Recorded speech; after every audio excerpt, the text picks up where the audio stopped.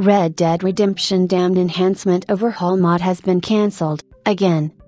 In August 2019, we informed you about Red Dead Redemption Damned Enhancement, an overhaul mod for the X360 and PS3 versions of the first Red Dead Redemption game.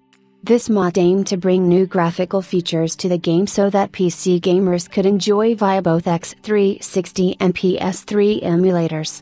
However, it appears that the project has been cancelled. Again. In September 2019, Take Two attempted to shut down the project. Then, in November 2019, modder Gaming Damned claimed that the development for this fan remaster of RDR has been resumed. However, Take Two has now filed a lawsuit at a New York court against a Jonathan Wyckoff.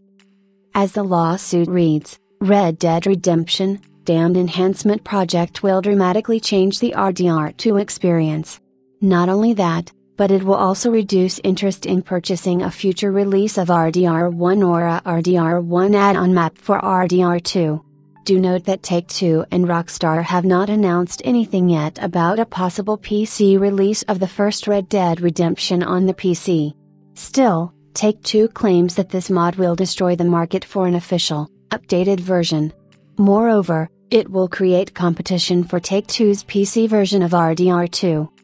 Those unauthorized changes include importing the entire game map of 2010's Red Dead Redemption into the 2018 game Red Dead Redemption 2, enhancing graphics and visuals in Take Two's Red Dead Redemption game, allowing players to play an enhanced version of the game on personal computer. PC is a platform for which Take Two itself has not yet released the Red Dead Redemption game,